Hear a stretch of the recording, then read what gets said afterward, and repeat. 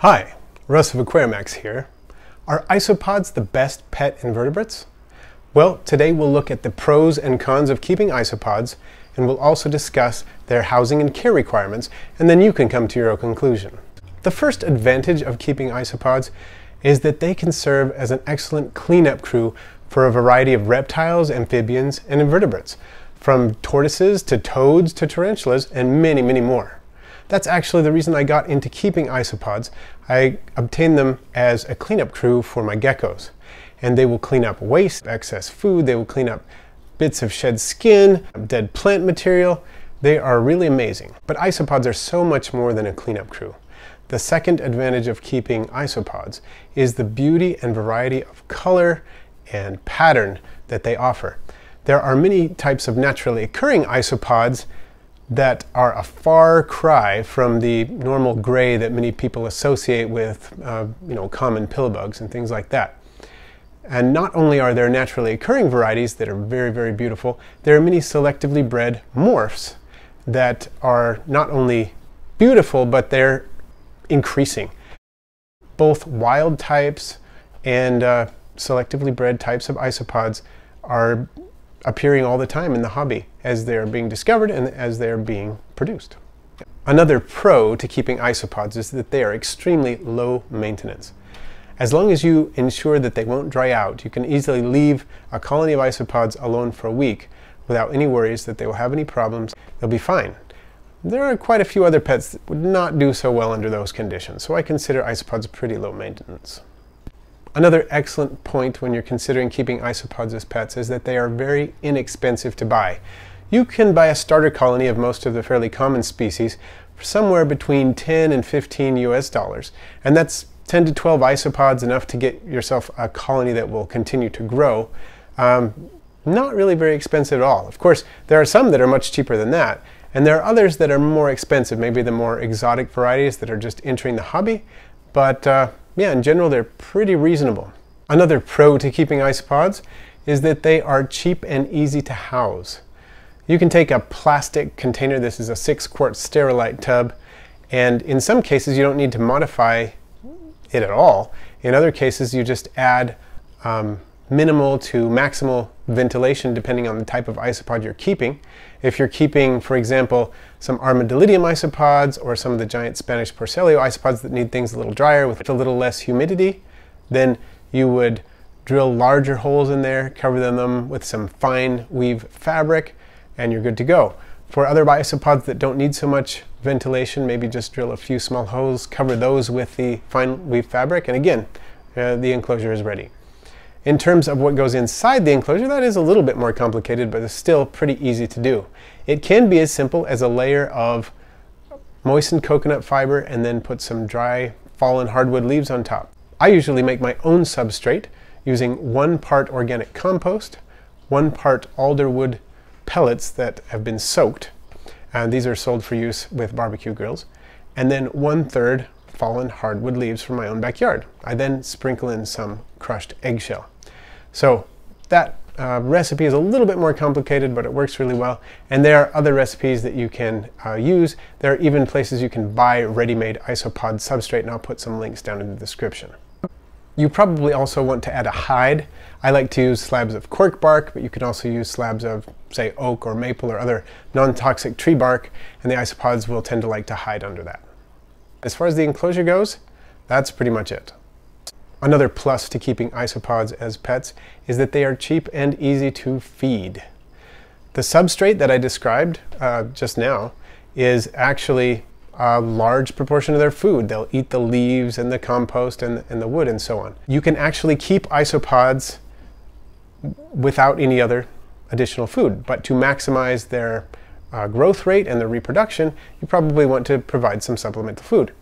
Now, this can take the form of bits of fruits and vegetables that you probably already have around the house. In terms of vegetables that they like, uh, sweet potato is a great one. They also like carrots. Um, they'll take a lot of different leafy greens. They will eat green beans, they will eat peas, and many others. In terms of fruits, things like apple, banana, and orange are great. Mango, they'll eat quite a few different things. It's just important to make sure that if you're not offering organic produce that you make sure to rinse and or peel them very well because pesticides could be deadly to your isopods. And it's also important to make sure that you don't put too much in at a time and that you check on it. And if it starts to get moldy, that you remove it.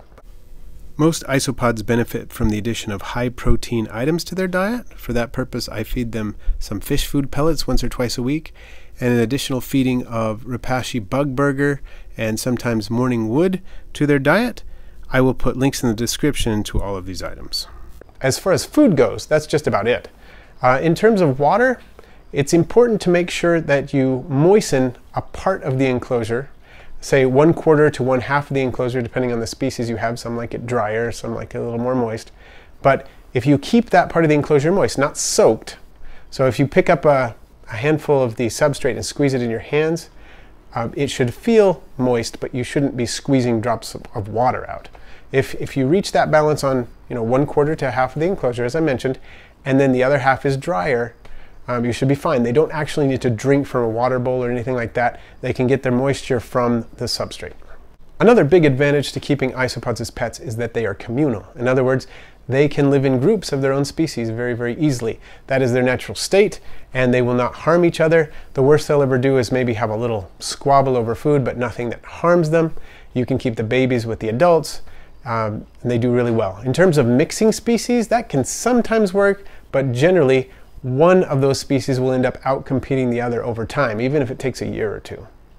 So I don't recommend mixing isopod species, but you can definitely keep large groups of the same species together. That kind of leads into our next pro of keeping isopods, and that is that they're easy to breed yet manageable. Now what I mean by easy to breed is that if you keep males and females together in the proper enclosure, they will reproduce. It's not that hard. The uh, females will uh, produce a pouch on their underside lay the eggs in that pouch, and then when they are ready, the mancae, or the offspring, will come out of the pouch, and they are pale, but basically replicas of the adults in all of the respects, and they'll darken up as they get older into the adult coloration. Um, they are able to eat the same foods that the adults eat right away, and the adults will not harm them. So very easy reproductive process. In terms of manageable, what I mean by this is they're not going to reproduce extremely fast. Now, some isopods are definitely going to reproduce much more quickly than others, but there are other invertebrates that people keep that will reproduce much, much more quickly than isopods. If you keep an isopod colony, you're probably not going to need to worry about uh, trying to find homes for all of them um, right away, but even if you do get to the point where you have too many, you'll probably find someone who uh, wants some isopods as well. Another great thing about keeping isopods is that they are safe to handle. They're not going to sting, bite, pinch, or spray anything on you, unlike some other uh, invertebrates that people keep.